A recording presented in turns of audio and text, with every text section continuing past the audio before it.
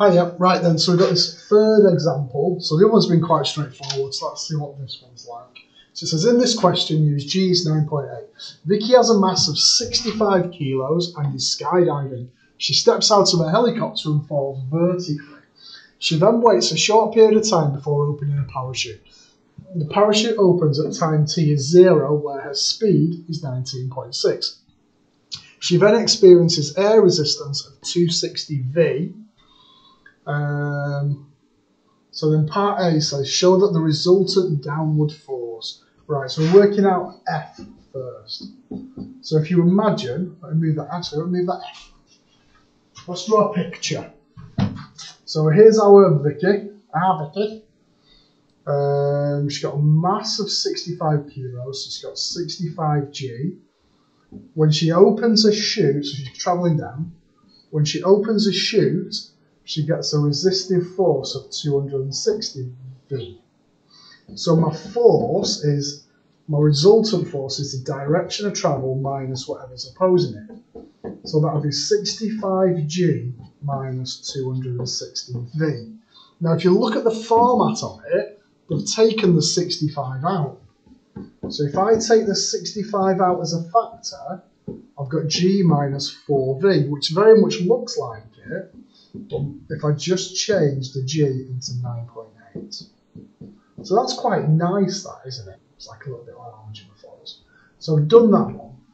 So then it says, part two, show that dv by dt is that. Right, so let's do our F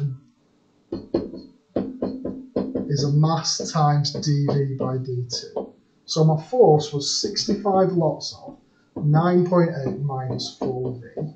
My mass is 65, and then it's dv by dt. So that's quite nice in the fact that my 65's disappear, so 9.8 minus 4v. Oops, I've lost an equal there. There's an equals there, look, see. Is equal to dv by dt. I might just write that out again with the equals in so we know for sure.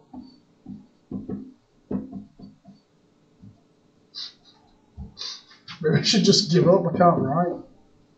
Uh, 65. 65's cancel.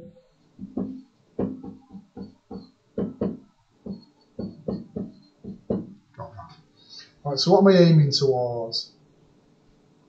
Oh look, they've taken out a minus 4, Minus 4. I guess 9.8 divided by 4 is 2.45. There you go, and I've got what they want perfectly. Lovely. Right, part B then. So let's have a look at part B. So part B says by showing that that's the integral, find it.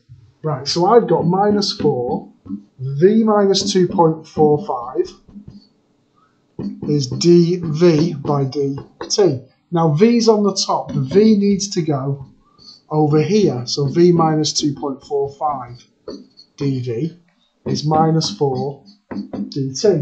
And I integrate both of them. So I've got minus 4t is equal to, now that's going to be a log, log of v minus 2.45 plus c.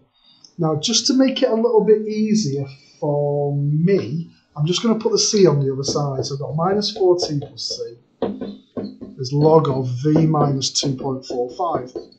If I do e, I've got e of minus 4t plus c is v minus 2.45. Remember that idea, I can split it up as e to the minus 40 times by e to the c. e to the c is a constant, so that becomes a e to the minus 4t is v minus 2.45. I'm on 4 minutes 30. I'm going to have to stop the video and restart it. Do it, but it's only like literally a minute, so don't worry.